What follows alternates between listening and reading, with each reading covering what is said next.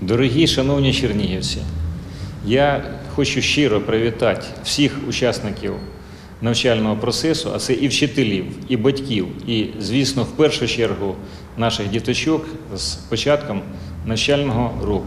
Освічені діти це наше майбутнє. Місто зробило все можливе для того, щоб ті, хто бажають, мали можливість отримати освіту в офлайн режимі.